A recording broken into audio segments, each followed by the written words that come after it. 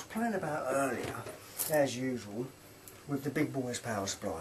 I was trying to pop one of these big halide lamps, only a 400 watt lamp, but every time, right, I overpower it, it melts the inner wires down the bottom.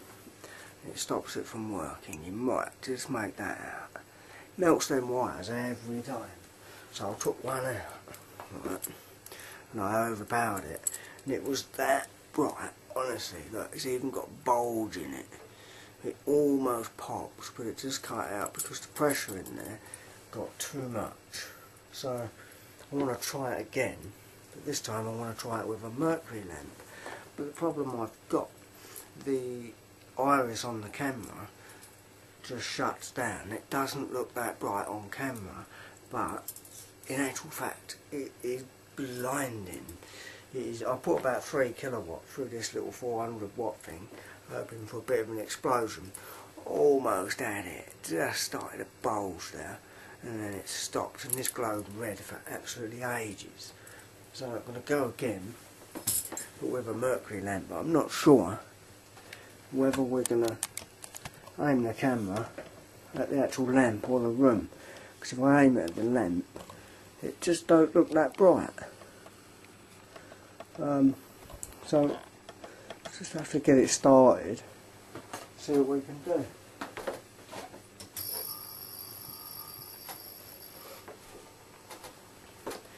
That's it there on uh, pretty normal power.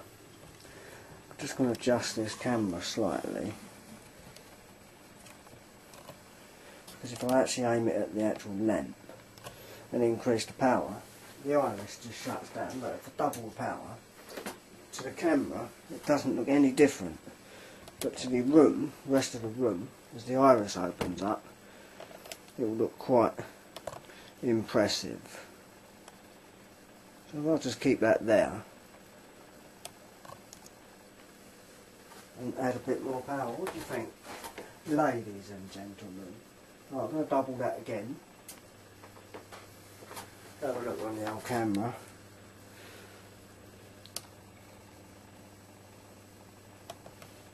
Yeah, I need it over here really, don't I?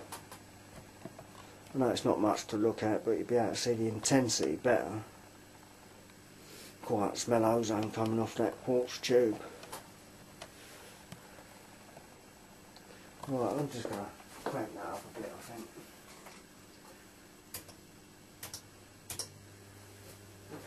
I'm getting out of the way. That is bright.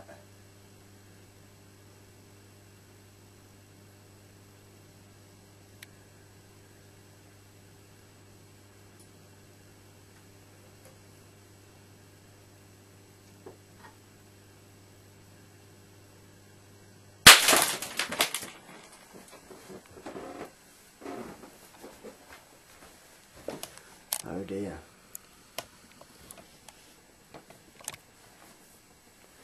A bit of a problem.